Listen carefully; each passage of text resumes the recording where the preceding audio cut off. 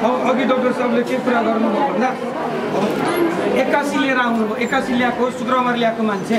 त्यतिखेर रोग पत्ता लगाइदिएर यो तपाईँहरूसँग उपकरणहरू छैन डक्टर जाने छैन भने तुरुन्तै रिफर गरिदिनु भएको भए त्यो ठाउँमा लगेर लिभरै फेर्नु परे पनि ठुलो दिल्ली नै लानु पऱ्यो भने एउटा समय थियो नि त। शुक्रबार ल्याएको मान्छे सोमबार आउँदाखेरि एक्कासी ल्याउनु भयो भन्न मिल्छ। डक्टर जान्ने छैन। रिफर गरिदिनुपर्छ। साढे आठ बजी ल्याएको डेढ घन्टा डक्टर पर्खाएको छ। डक्टर आउने बिचमा दबाई लगाएको के दबाई लायो? तुरुन्तै बेड लिएर जानु लिएर जानु। यो कारणले हो रिपोर्ट हातमा आएको छैन। बुझाउने कर्तव्य छैन। अपरिपक्व मान्छे हुनु- हुनुहुन्छ भने सबै छोड्नुहोस्।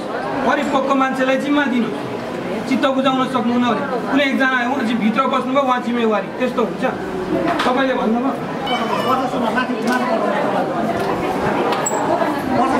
मान्छे बितेको छ शुक्रबार दबाई पानी लिएर पठाएको समय इन्जेक्सन मात्रै भएको मान्छे हामीले के मान्छे आएर डेढ घन्टा डक्टर तिन घन्टा हल्लिराखेको छ छ भने हामी लान्छौँ यसो हामीसँग कुरा गर्नु परेन कस्तो लाग्छ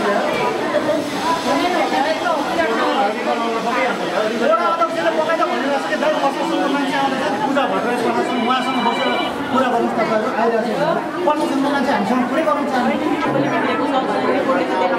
तर आएको पनि दस बजे हो अस्तिको रिपोर्ट पनि यहीँ छ तपाईँले देखाउनु पर्दैन सुगर र अस्ति उहाँले चाहिँ समस्या भएको त्यसको मात्रै जाँच गरेको छ क्या त्यस्तो भनेको सबै गराएको छैन रहेछ त्यो त बिमारी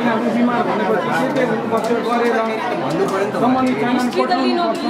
नि भाइ लिँदाखेरि त उहाँले जे बनाउँछ त्यही अनुसारको एन्सर दिन्छ तिन दिन अब तिन दिन पछाडि बित्ने मान्छेको तिन दिन अगाडि डक्टरले भेटेपछि केही त थाहा हुन्छ नि हो।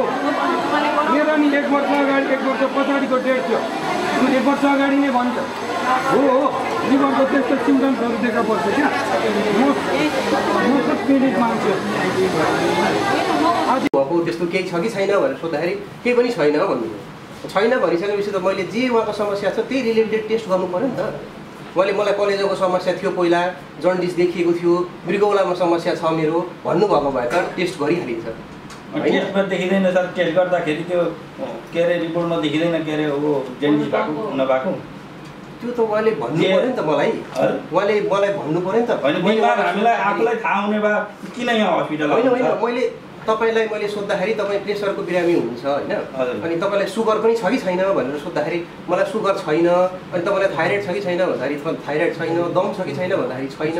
अनि त्यसपछि तपाईँलाई मृगौलाको समस्या मुटुको समस्या यताउति समस्या छ भन्दा सोद्धाखेरि तपाईँले मलाई केही पनि छैन मलाई यो मात्रै समस्या हो मलाई पहिला देखिएको पनि छैन भनेपछि त तपाईँलाई त्यही अनुसारको टेस्ट गरिन्छ नि त। मैले भन्न खोजेको चाहिँ त्यो हो।